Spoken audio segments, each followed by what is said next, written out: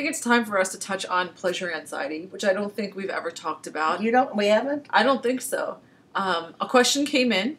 First, let me say something. Okay. This is a concept by Wilhelm Reich, one of my all-time heroes, and he's the one that coined the phrase pleasure anxiety. And I remember the first time I read that it was back in the '60s. It resonated, and you went, yeah. I went, "That's me." It's like the fear of having too much fun, too much pleasure. It's like, "Ugh, ugh." this, you know, I'll die. Something's terribly you don't want to lose control. And I see it manifest in women where they'll say, like, you'll be going down on them or pleasuring them, and they'll say, it's too intense, stop. I mean, I've had men also push me off. They'll say, it's too intense. Well, now that could be because they've had an orgasm and No, no, no. It wasn't an orgasm yet. I think that when you work up to a really big orgasm, it can be scary. oh no, the the the, the yeah, the Yeah. pleasure building. It's like, what's going to happen? I'm going. to I what? I remember the time when I said to Grant, uh, uh, "Could I could I die from this?" It was like can I die from an orgasm? he said, "Die from having an orgasm." No, you. I've heard of people dying to have one. But, But not I've dying from one. So pleasure anxiety, yes, it is a problem.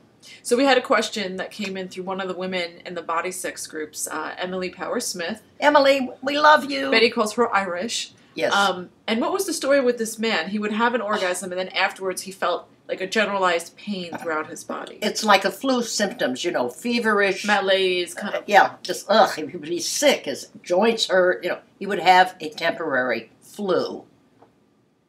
Wow. Wow. Yeah. So my thing was, it's psychological. It's sexual guilt. He shouldn't be, and it's from masturbation. He shouldn't be playing with his ding dong anyway. And I, so I thought, I assumed he was Irish, but she said no, he was a Muslim. Same thing, same repression, same stupidity. You can't masturbate. Any time any organization says you can't masturbate, get the hell away from them. And what it is is I don't know. I mean, as growing up as a child, I don't remember one encouraging message like you should masturbate. It's not just about pro- not prohibiting it, but what about encouraging it Oh my goodness, that's what we do. and encouraging healthy masturbation. and th- this is how we are we discover our sexuality mm-hmm. this is how the teens when they've got those raging hormones. Oh God, well but i i couldn't have made it through my teens no way, without it no way. oh no i could have made it i would have been fucking the little boyfriend in the And then you would have ended up knocked up. You know what I Yep, mean? yep. Take the the edge off. Yep. With a little masturbation always helps. there it goes So when you you're in, experiencing this pleasure anxiety, how do you work with your partner, or if it's you, what should you do? How do you work through that? How do you Um, feel? uh, How do you get to a point where you accept that you deserve pleasure? well what i told emily is that as soon as he has regular sex as soon as he has sex with a woman he puts his pee-pee inside a vagina that that'll probably disappear Oh, That would be my speculation. Pleasure anxiety, sexual guilt, religious prohibition, etc., etc. This is all the same thing. and it's in every culture. It's global. Yes, it is. And, and I, it's the fear of having too much of a good thing. Yeah. I understand that. And it's almost like if you get a good thing, they'll someone will take it away from you. Like we were always joking when we were kids because my parents were so religious, and anything that was fun or good was bad.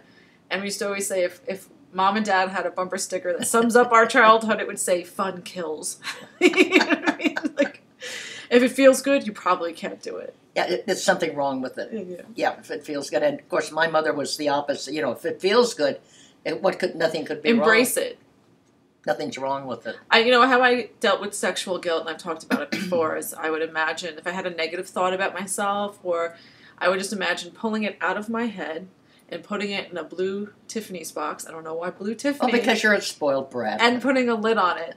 And I did that enough that every time I would have that thought, I'd stop myself. And it took like a year or two, but all of a sudden I found that I didn't ever have that thought again.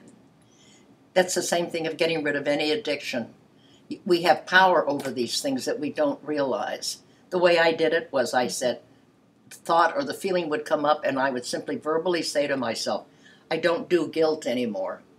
I don't do pleasure anxiety anymore. I just would tell myself, I don't do that anymore. And so then I would stop. Then I would go back to whatever I was doing and move through it. But I like the idea of the little box. It was just something physical so I could think of, and it was like, okay, it's gone.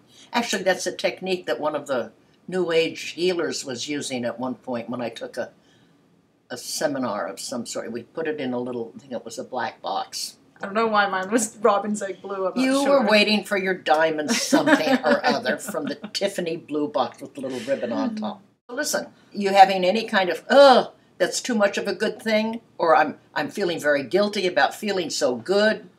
Get out her little blue box Yeah, put that negative thought in it. Move and on. get rid of it. We can't have too much pleasure. Now that'll cause us a shitstorm. Oh, let's go. I'm ready. All right, let's work on it. No, let's play at it.